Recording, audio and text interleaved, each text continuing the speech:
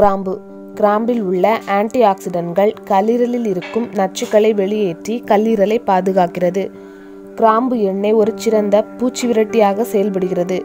கிராம்பு ஜீரண எம்சைன்களை அதிகரித்து ஜீரண சக்தியை தூண்டுகிறது. நுரையீரல் புற்றுநோயை ஆரம்ப காலத்தில் சரி செய்ய கிராம்பு பயன்படுகிறது.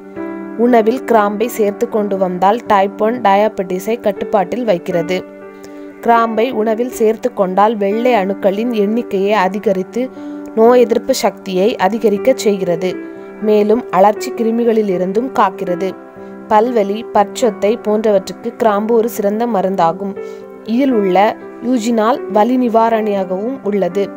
தலைவலிக்கு கிராம்பை பொடியாக்கி கூழ் போன்று செய்து அதனுடன் கல் உப்பு சேர்த்து பாலுடன் கலந்து குடித்து வந்தால் தலைவலி உடனடியாக தீரும்.